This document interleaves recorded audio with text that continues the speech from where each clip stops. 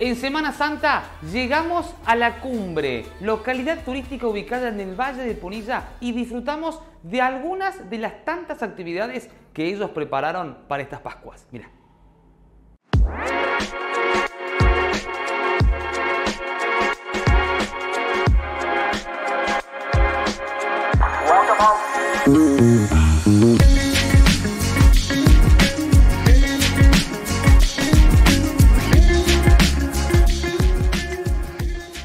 Hola, bienvenido Punto de Partida. Mi nombre es Paola Olmo, secretaria de Turismo de la localidad de La Cumbre.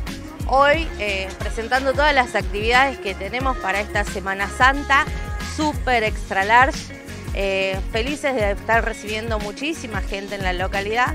Y una de las actividades en las cuales vamos a hacer hincapié es con el recorrido de las iglesias, una actividad que venimos efectuando ya hace varios años.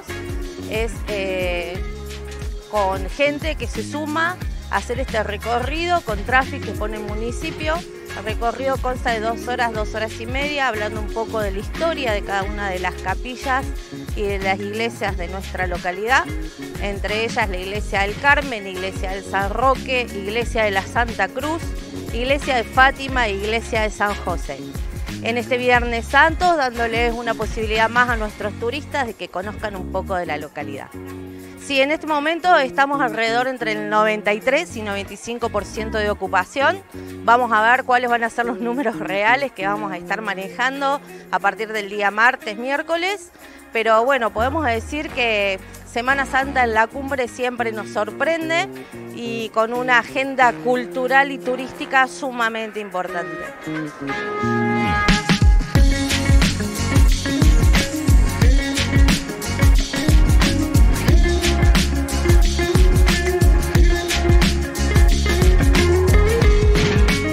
Bueno, para la religión católica hay una tradición que es la visita de siete iglesias el Viernes Santo.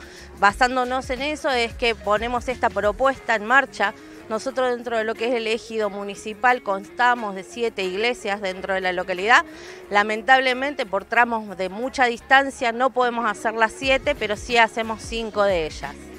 Particularmente dos de ellas forman parte de los edificios que eh, conformaron los 32 edificios para que hoy nosotros, la localidad de La Cumbre, podamos ser eh, poblado histórico nacional. Así que bueno, de mucha importancia estas dos iglesias que tenemos dentro del pueblo.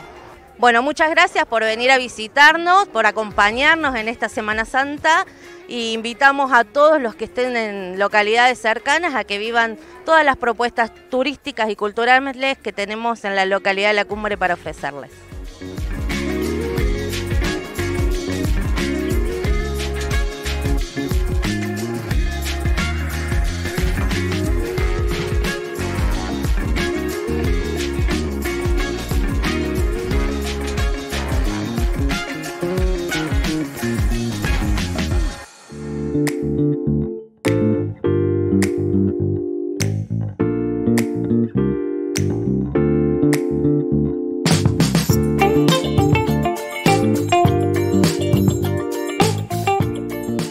La gente de Punto de Partida. Estamos disfrutando de una nueva Semana Santa en nuestra localidad de La Cumbre. A las espaldas tengo la capilla de San Roque.